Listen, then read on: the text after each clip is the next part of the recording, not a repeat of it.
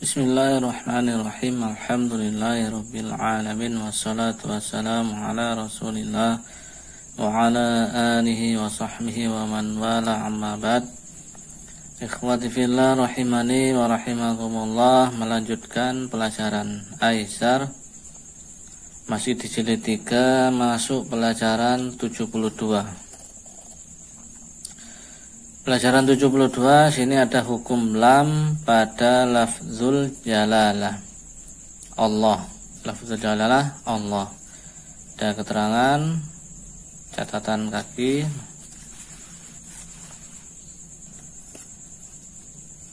catatannya lam pada lafzul jalalah Allah dibaca dua harokat walaupun tidak ada tanda alif kecil di atasnya meskipun tidak ada tanda alif kecil harokatnya harokat fathah biasa. Kalau di mushaf cetakan Saudi kalau Indonesia biasanya cetakannya itu uh, harokatnya itu berdiri. Nah Meskipun ini tulisan harokatnya fathah biasa tidak berdiri maka tetap dibaca panjang dua harokat. Enam. Tidak dibaca pendek ya. Tetap dibaca panjang. Ini dalam penulisan. Dalam hal penulisan. Lafzul jalalah harokatnya tidak diberdirikan tapi di seperti fathah keumumannya biasa. Barakallahu. Lam pada lafzul jalalah Allah ini dibaca tafkhim. Dibaca tebal jika didahului harokat fathah atau domah. 6. Syarat kalau lafzul jalalah Allah ini dibaca tebal ini harokat didahului oleh fathah atau dhamma. Dan dibaca tarkik, dibaca tipis jika didahului oleh kasroh. Dan catatan kaki 14 Menebalkan lam adalah dengan cara menegangkan atau menaikkan pangkal lidah ke langit-langit. Hati-hatilah pula dari mendatangkan sifat guna pada lam. Jadi cara menebalkan lafzul jalalah itu secara teori makhrajnya lam. Makhrajnya lam itu ada beberapa. Satu ujung lidah bertemu dengan gusi atas itu yang pertama la atau tepi lidah bagian depan kanan atau kiri itu bertemu dengan gusi la la bagian tepinya ya. Setelah dot makronya dot itu kan e, dari tengah ke belakang. Tepi lidah bagian itu dari tengah sampai ke belakang tepinya itu bertemu dengan gigi geraham atas do. Nah sedangkan untuk lam itu setelah do depannya tengah ke depan. Itulah eh, apa makrotnya huruf lam. Untuk lafzul jalalah ini tempelkan semua ya. Tepi kanan maupun kiri itu tempelkan ke uh, gusi atas. Loh. Loh. Semua mau dari tepi kanan ke depan ke tepi kiri. Jadi nempel semua. Loh. Loh. Jadi dibaca tipis. La la. Kalau la itu cuman ujung ujung lidahnya. Tapi untuk lafzul jalan tempelkan semua. Loh. Allah. Allah ini tebal suaranya. Perhatikan untuk lafzul jalalah ini jangan bercampur dengan makhrajnya huruf wawu. Ya jadi dikatakan Allah. Nah, seperti itu. Ini ucapan yang kurang benar tidak tidak sesuai karena itu makhrajnya waw nanti Allah. Jadi pakai lam. Lafzul jalalah itu lam. Allah. Allah bukan Allah nah, perhatikan cara pengucapan lafzul jalalah jangan dicampur antara lam dan waw kalau ini Allah ini murni kayak waw ya Allah tapi kalau dicampur lam sama wawu, Allah, Allah, Allah. Tadi ada e, peran di situ makhrajnya wawu juga. Ini juga kurang pas. Jadi yang benar itu hanya lidah yang e, bersuara, istilahnya yang bermain di situ adalah lidah. Allah, Allah. Sehingga perlu dihindari pula untuk bercampur dengan wawu itu diusahakan bibir bagian bawah itu tidak bergerak. Allah Allah. Kalau sudah tidak bergerak berarti ini sudah benar kalau masih bergerak ini masih uh, kurang pas ya. Allah akhirnya ada campur ke wawunya Allah uh, kalau dia bergerak bibir bawahnya. Usahakan bibir bawah tidak bergerak agar e, memang benar ini dari e, apa makrotnya lam Allah Allah. Jadi untuk pengucapannya sekali lagi ditempelkan lidah tepi bagian depan setelah dot itu ya e, ke gusi atas Allah nah seperti itu cara e, mengucapkan lafzul jalalah. Di sini kita akan belajar terkait hukumnya dia dibaca tebal atau dibaca tipis.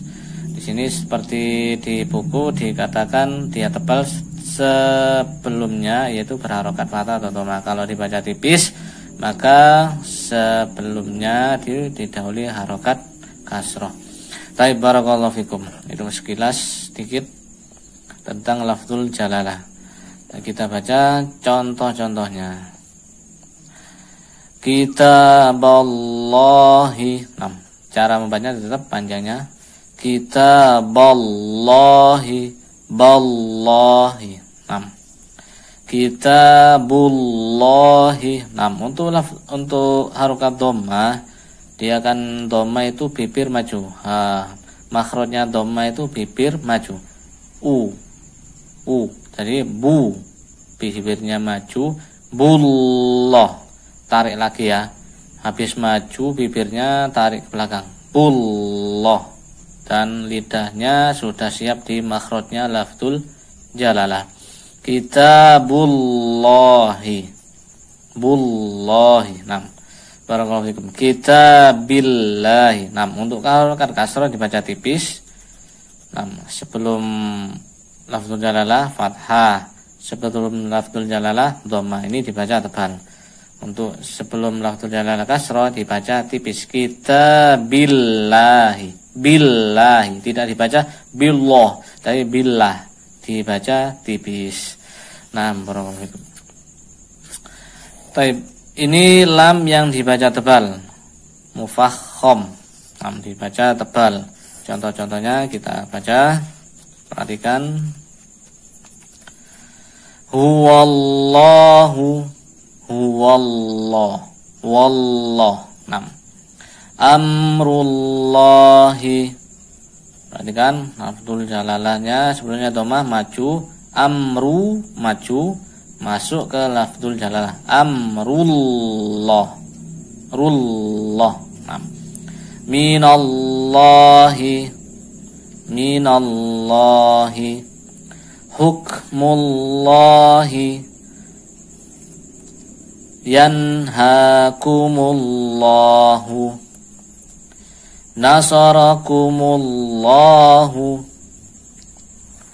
يتوب الله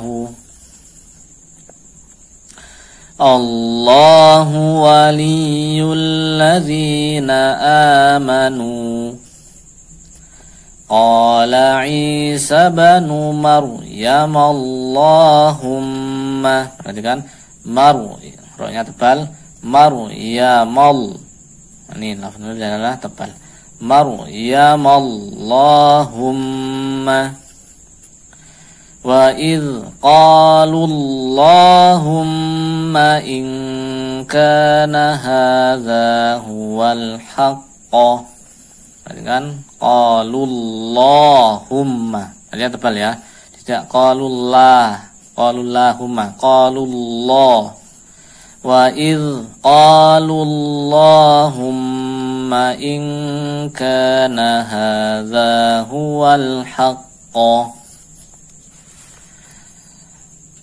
وإذ قالوا اللهم إن كان هذا هو الحق من عندك فأمطر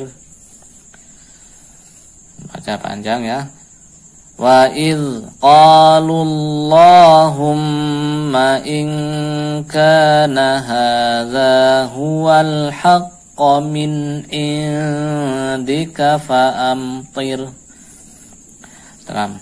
Lam yang dibaca tipis atau murakkok dibaca tipis.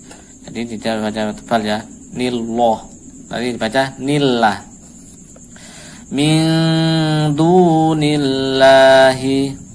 qulillahu balillahu آمنوا بالله الحمد لله فاطر السماوات والأرض ولله غيب السماوات والأرض وإليه يرجع الأمر كله. Panjang. ولله غيب السماوات والأرض وإليه يرجع الأمر كله Perhatikan sini kulillah, bukan kulillah ya. Kulillahumma malikal mulki tu'til mulka. Perhatikan sini lam-lam ini Jangan sampai mematul ya. Malikal mulki nah, mulki itu tilamul. Nah, ini dipantul-pantul lamnya. Perhatikan hati-hati lamnya ditawasudkan. Qulillahumma malikal mulki tu'til mulka قل اللهم فاطر السماوات والأرض عالم الغيب والشهادة ini lamnya juga mal goy alimal goy mal goy juga mal mal mal goy قل اللهم فاطر السماوات والارض عالم الغيب والشهاده. طيب. تو لفظ الجلاله نعم بارك الله فيكم إلى الله سبحانك اللهم وبحمدك اشهد ان لا اله الا انت استغفرك واتوب اليك